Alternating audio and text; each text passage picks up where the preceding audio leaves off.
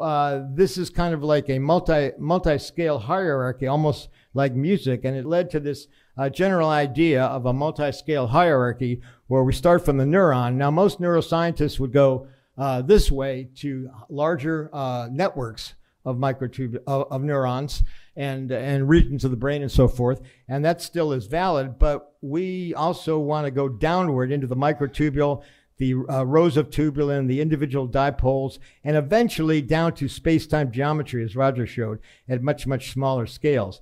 And here are the self-similar patterns seen at, uh, at terahertz, gigahertz, megahertz, kilohertz, and hertz. And anesthesia seems to work here in the uh, terahertz range. And I'll come back to that point. So uh, we wanted to test sensitivity of microtubule quantum processes to anesthesia and also psychedelics and uh, uh, and also show how Orch-OR can account for EEG. So the easiest way, uh, in my opinion, to test uh, for a model of consciousness is how how does it respond to anesthesia. And during the 19th century, a group of gases were discovered which, when inhaled at low concentrations, caused euphoria.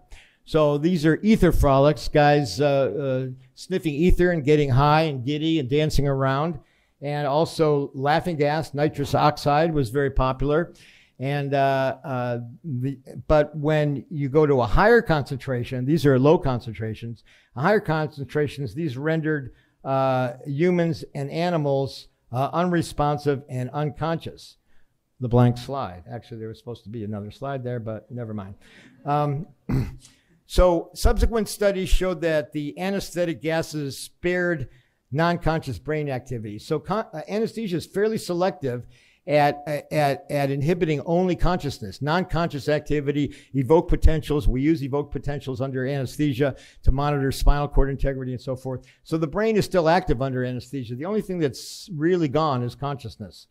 Uh, also, the, the gases uh, had, uh, the anesthetic gases uh, had different potencies and required to render uh, subjects unresponsive. But for each gas, uh, the potency for any animal studied was, was the same. At equilibrium, it would take the same amount of any anesthetic to put you or I to sleep, an, uh, a, a, giraffe, an elephant, a fruit fly, a salamander, all have pretty much the same uh, MAC, a minimal alveolar concentration required. That's still pretty amazing.